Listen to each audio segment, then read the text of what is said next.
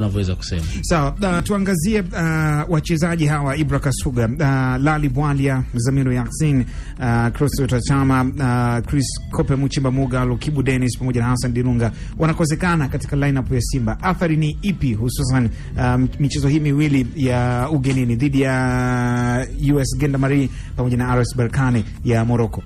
Ya, kujaribu kutazama idadi ya wachezaji unaweza kusema kwamba ni kubwa, na wengi wao pia wamekuwa ni first team material, hususan kwa mchezaji kama Lali Bwali ambaye amekuwa sehemu ya wale viungo watatu wa kati, kwa sababu ni um, amekuwepo am, amekuwepo tunazungumza Jonas Mkude uh, Kanuti pamoja na Bwalia ndio mm. ambao mara nyingi sana wameonekana kuwa wanaanza kwenye kikosi cha kwanza, labda ukitoa kwenye baadhi ya games ambazo kumekuwa kuna uwepo wa mtu kama Chama ambaye naye pia anakosekana uh, kwenye kikosi ambacho kimesafiri Kwa sababu ya kikanuni. sababu ya kanuni na mm. hata hapo kujaribu kutazama aina ya mchezaji mwingine ambaye anaweza akaingia na akafitin kwenye eneo lile uh, unakuta labda ni Hassan Dilunga ambaye naye pia anakosekana.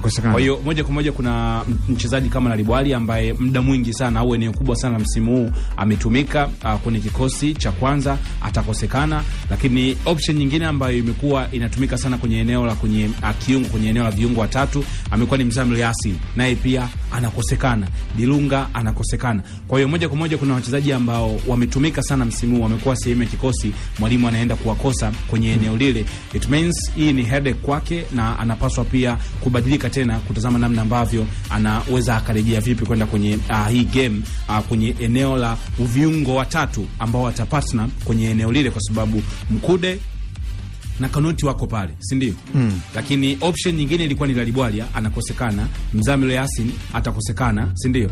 Ukitazama Hassan Dilunga ana muda kidogo, naye pia atamkosa. Mm. Kwa hiyo unaona kabisa kwamba hapa kuna question mark ambayo inatengenezwa, ni nani ambaye anaweza akaingia na kwenda kufit in kwenye lile eneo. Kibudenis imekuwa ni muda mrefu sana, na kwenye namba ya mawinga unakuwa huna wasiwasi kwamba ni nani ambaye anaweza kacheza, kwa sababu Bernard Morrison amejumuishwa kwenye kikosi, Peter Banda yupo James Mwinuke naye pia tunaona yupo kwenye kikosi mm. Uh, Sako yupo. Kwa hiyo options za uh, watu wanaocheza kwenye wings uh, hata kipindi ambacho Kibudeni hapa amekosekana, tumekuwa tunaona watu wamekuwa na uwezo wa kustep na kufanya kitu.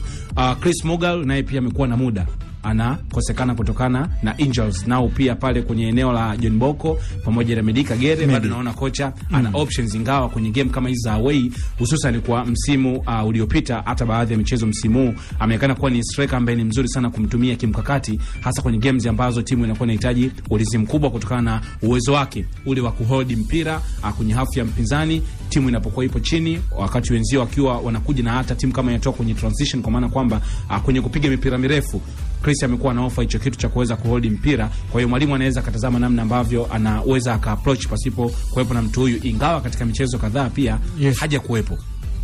Kwa hiyo eh,